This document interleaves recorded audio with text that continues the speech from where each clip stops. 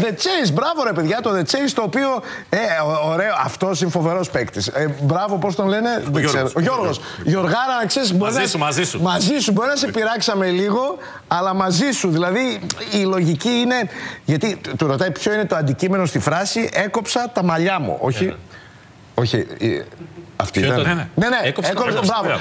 Μπράβο. Ποιο είναι Θέλει το να κάνει- αντικείμενο. θέλει να κάνει συντακτική ναι, ανάλαξη. ποιο Για είναι να- συντακτικά, ποιο είναι το αντικείμενο στη φράση Έκοψα τα μαλλιά μου. Και ο Γιώργος απαντάει το ψαλίδι. Πολύ ωραίος σκέτος. Τι κάνεις Γιώργο; Καλά, είμαι εσύ Μαρία; Είμαι πολύ καλά, καλώς ήρθες. Καλώς σας βρήκα. Πάμε να παίξουμε λοιπόν ένα λεπτό στη διάθεση 300 ευρώ κάθε σωστή απάντηση και ο χρόνος σου ξεκινάει από τώρα.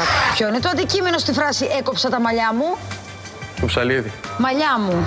Το ψαλίδι λέει. Τέλος πάντων το προσπερνάω. Συνεχίζουμε. Ποιο είναι το αντικείμενο στη φράση Έβαψα τον τοίχο. Το πινέλο. Κάτσε ρε Γιώργο. Ποιο πινέλο ρε φίλε μου. Το αντικείμενο σε αυτή τη φράση είναι ο τείχος. Τέλος πάντων πάμε πάλι. Ποιο είναι το αντικείμενο στη φράση Υπότισα τον γκαζόν.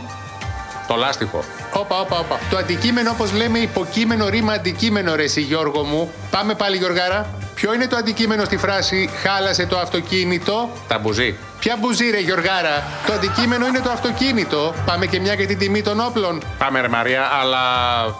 Ρώταμε και τίποτα άλλο. Αφού βλέπεις, δεν είμαι πολύ καλός στο συντακτικό. Εντάξει, ρε Γιώργο, ας είναι. Τι αξίωμα είχε στο φανάρι Κωνσταντινούπολης ο Νεστόριος; Τροχονόμου.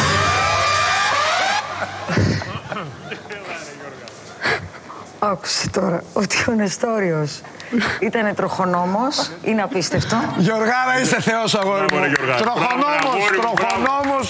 Χίλιες φορές τροχονόμος. Κανείς δεν το ήξερα. Τώρα Να, κανείς δεν το ήξερε. πήρα μια Ποιος το πληροφορία ήξερε; φοβερή.